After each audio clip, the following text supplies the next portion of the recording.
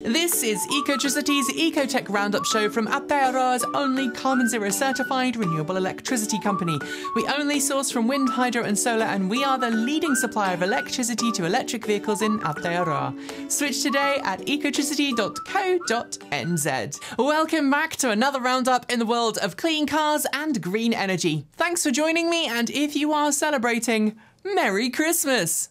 Solar energy has really helped lower the overall carbon footprint of the world's electrical grid this year, with a massive growth in solar deployment as solar panels become cheaper and more efficient. Yet, while solar panels are now at their most cost effective, they're still not super efficient. The best commercial solar panels on sale today turn about 20% of the solar radiation that hits them into electrical energy. Higher efficiency levels have been reached in the lab, but with the best solar cell to date managing an efficiency of 29.8%, there's still a way to go. That record was broken this week by a new tandem solar cell featuring a top cell made of silicon and a bottom cell made of Perovskite, developed by a team of researchers at the Helmholtz Zentrum Berlin. The same team, by the way, responsible for the previous world record for solar cell efficiency. This could have a big impact on future solar panel designs. Tesla is no stranger to alleged employment law violations, having been sued plenty of times in the past by former employees alleging illegal behavior by the automaker. This week, a new case was brought in the form of a complaint to the National Labour Relations Board. Tesla stands accused of firing two employees because they were discussing and drafting letters critical of Elon Musk. According to Bloomberg, the complaints were discussing, quote, Tesla's failure to enforce its non harassment policy and its implementation of its post COVID return to office policy, end quote. It reports that no official letters were sent to executives at the company and notes that one of the people fired was given a pay raise a few days before the alleged illegal firing took place. If we are honest, there's a lot of unanswered questions here on both sides, clouding the clarity of this story. As winter temperatures begin to bite in the Northern Hemisphere, we're seeing the usual seasonal barrage of FUD confidently claiming that electric vehicles suck in cold weather. Yes, electric vehicles do suffer reduced efficiency and range in cold weather, like any other vehicle, but most EV owners will quite happily tell you that with a few considerations, like using preconditioning, their EVs are fine when the mercury drops. Now there's official data to back that up, with Recurrent Auto using real world data from Ford Mustang Mach E and Volkswagen ID4 cars, as well as feedback from more than 10,000 EV drivers, to show that while EV owners are more cautious about taking longer distance trips in winter, they just tend to charge more frequently. While EV drivers are more conservative about range in winter, this data shows that they're most certainly not getting stranded. Plug in hybrids, or in some cases range extended EVs, can be great transitional vehicles for those looking to make the switch to a lower emission lifestyle. However, as we've said plenty of times before, switching to a plug in hybrid or range extended EV only pays dividends if you charge as much as possible. And when testing agencies like the EPA calculate estimated fuel economies for plug in hybrids, they take that into account.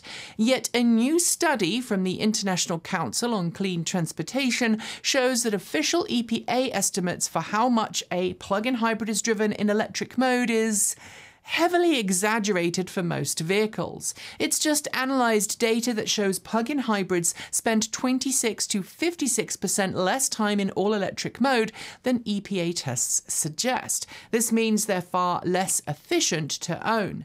That's down to the individual driver, of course, and how much they use their car. So if you do want better efficiency, you've got to plug in. But maybe also the EPA should adjust the testing metrics to reflect this fact.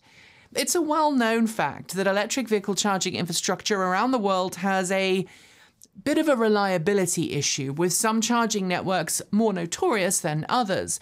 Now, EV owners have a new thing to worry about the cybersecurity of charging stations they're using. That's because a new study from Sandia National Laboratories is highlighting some pretty glaring cybersecurity flaws with EV charging infrastructure. The study, which took four years to complete and was funded by the US Department of Energy, details everything from potential credit card skimming at charging stations through to cloud server vulnerabilities that expose charging providers' backend services.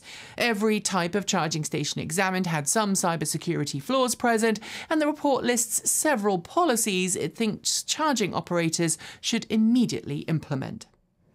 It's only been a few weeks since Tesla officially began deliveries of the Tesla Semi, with its first customer, PepsiCo, taking ownership of several Tesla semis at a special event in Nevada. It's already using those trucks in the wild, and we've heard from several of you telling us about Tesla semi glimpses you've got on the road.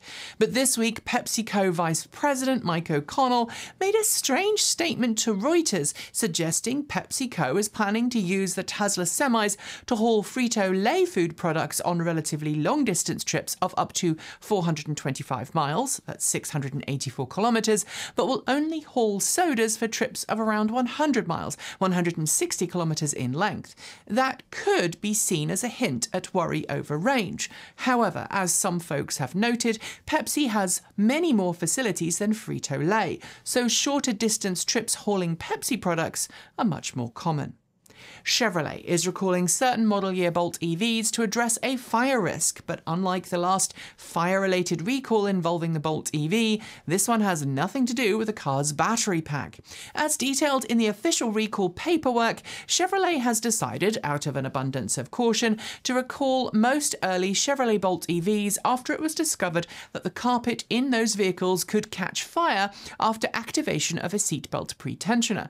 Designed to activate in a split second in the the event of an impact, pretensioners tighten the seatbelt to reduce passenger injury on impact and, like airbags, rely on a small explosive charge to operate. Chevy says that in a few cases, activation of a seatbelt pretensioner has led to hot components coming into contact with the carpet and starting a fire. Remedial recall work will involve fitting a heat shield in relevant areas to protect the carpet from potential sparks. We've often asked on the channel what the impacts of driving an electric vehicle are compared to a comparable gasoline vehicle. Sometimes the exact comparison is hard to make because there's not always a direct model to model comparison, but this week Ford published its first sustainable financing report that happened to make some very nice direct comparisons. In addition to detailing to investors where its massive electric vehicle investment dollars were going, Ford compared the F 150 Lightning to an ICE pickup, a Mustang Mach E rear wheel drive to an ICE SUV, and the Ford e Transit low roof to an ICE Transit. It showed that during each vehicle's lifetime, they could save 78, 42, and 55 metric tons of carbon dioxide, respectively. And knowing the fossil fuel industry has been proven to consistently underestimate its CO2 impact, we can assume this is a significant underestimate of the actual savings. It shows yet again that going electric really is a good long term investment for you and the planet. CNN Business reported this week that police reports made available to it following a public records request detail the driver of a Model S responsible for a multi car pileup on Thanksgiving Day is blaming Tesla full self driving beta for the incident. Video captured of the accident appears to show the Tesla changing lanes and suddenly braking while crossing the I 80 eastbound on the Bay Bridge in San Francisco. That led to an eight car pileup. The driver alleges they were using full self driving at the time of the incident, but the police have told CNN that they could not determine if that was the case, stating Tesla will have that information in its system. Tesla has not issued an official statement on the incident at this time, but we should reiterate that it states FSD beta should be supervised at all times. Before we get to the last two stories, a quick question. Are you in the market for a new electric car? If you are, and you are in Aotearoa, you should totally check out our very own buyer's guide at ecotricity.co.nz. It is packed with all the information you need to pick a car that's right for you and includes plenty of details about incentives you can get, charging providers you can use, and of course, how to get charging at home. follow the link below and start your journey today. This year, we've seen electric bicycles really take off, with more choices in the electric bicycle marketplace than I think we've ever seen before. But as we've covered on this channel before, Exactly what's considered a road legal electric bicycle varies greatly from region to region and country to country, meaning that some e bikes being sold and used today aren't technically road legal. This has caused Bosch, one of the leaders in e bike motors, to call for the US to adopt stricter standards governing electric bicycle use. It argues that current regulations in North America are just too confusing and nebulous, and notes that stricter safety standards, as found in Europe for example, would make e bikes safer and easier to understand for consumers, with some e bikes being sold in the US fitted with motors that place them near to motorcycles in terms of power. We can actually see the benefits of tighter, more transparent rules. And finally, for the last few years, the US Postal Service, under current Postmaster General Louis DeJoy, has been in a bit of a power struggle with the White House over mail trucks. DeJoy, who was appointed to the position by former President Trump, opted to order primarily gasoline powered mail trucks under the US Post Office's Next Generation Delivery Vehicle program, which was a big thing last year, making excuses as to why a primarily electric fleet wouldn't be a good idea for the future. In contrast, the Biden administration, which has pushed very hard for a future all electric federal fleet, has said the exact opposite. They had been at an impasse, but this week it appears there's been a breakthrough, with the White House announcing that from 2026 onwards, all delivery mail trucks purchased by the US Postal Service will be electric. It is backed by a 9.6 billion US dollar investment, so watch this space because the US Postal Service's purchasing could influence mail fleets around the world. And on that note, we are done for the day. Before I go though, do make sure you've hit the notification bell so you don't miss out on the latest in EV news from this channel. And of course, if you haven't switched yet, why not switch to Aotearoa's only carbon zero certified renewable electricity company? It is super easy to make the switch and you'll be helping the nation wean itself off dirty energy and onto clean, green power that will keep the land beautiful for generations to come.